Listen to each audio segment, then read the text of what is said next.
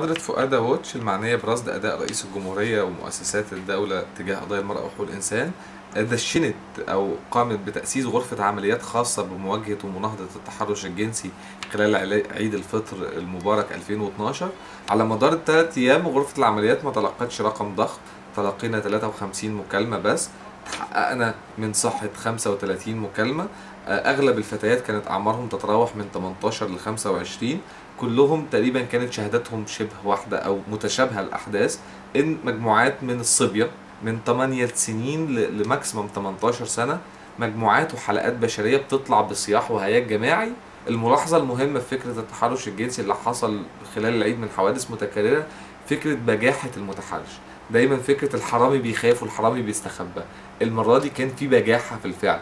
وفي تلاقي الولاد واقفين في الشارع بيندهوا لبعض على تعالوا نتجمع علشان نقوم بالتحرش. يعني كان دعوات علنية في الشوارع للتحرش بالفتيات والإناث. بإن البنات خايفة من أهاليهم.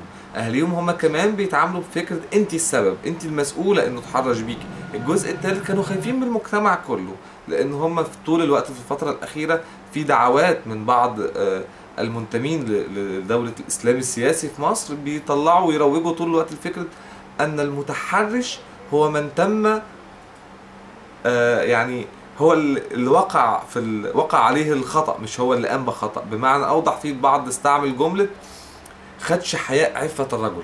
ودي كانت جملة لأول مرة بسمعها. يعني إن البنت اللي في الشارع هي اللي بتخدش حياءه لكن هو لما بيتحرش بيها بيكون رد فعل عشان هي خدشت حياءه في الأول. كلام مش منطقي. طب الفتيات الملتزمات دينيا هم الأخريات يعني اللي لابسه نقاب وإسدال إلى آخره. هو برضه بيتم ملاحقتهم في الشارع والتحرش بيهم جنسيا. هل هؤلاء غير ملتزمات؟ آه القضية ملهاش علاقة لا بالزي ولا بالثقافة ولا بأي شيء. هي ليها علاقة بإن المجتمع في خطر. أهم بؤر التحرش كان طلعت حرب منطقة وسط. طبعا وسط البلد كلها كانت بؤر تحرش كبيرة. لكن البؤر الأم زي ما بنقول كان شارع طلعت حرب تحديدا أمير مول طلعت حرب. آه طلعت حرب امتداده للتحرير وامتداده عكسي على 26 يوليو هو الآخر يعني بوابات بقى للمتحرشين. شفنا مجموعات من مبادرات زميلة مناهضة للتحرش وبتشتغل على ده بشكل واسع وبقى لها فترات يعني عاملة جهد. كانوا بينسقوا مع الأجهزة الأمنية وبينسقوا مع إدارة المترو وبيقفوا جوه محطات المترو يمنعوا التحرش. كان بس لينا ملاحظة واحدة فكرة دور الناشط ودور المتطوع في العمل العام ودور المخبر اللي يجب الفصل بين كل الأدوار دي.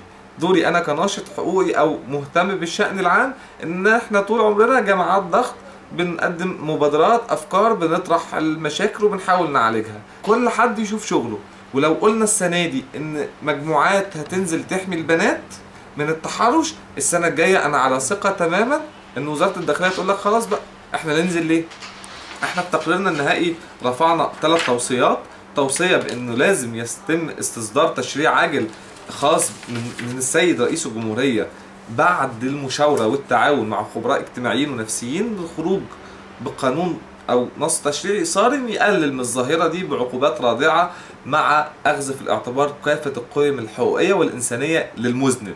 الجزء الثاني إن لازم يتم ما بين كل المبادرات المنظمات المجتمع المدني المعنية مبادرات توعية وحملات ميدانية وإعلامية وفي كل المجالات حوالين مخاطر الظاهرة دي وسلبياتها على المجتمع ككل في الفترة اللي جاية. التوصية الثالثه بنحمل مسؤولية الداخلية جزء كبير جدا من المعاناة إن ما كانتش كلها إنها مؤسسة تنفيذية ما قامتش بشغلها على أكمل وجه. كان في تقصير واضح جدا من وزارة الداخلية.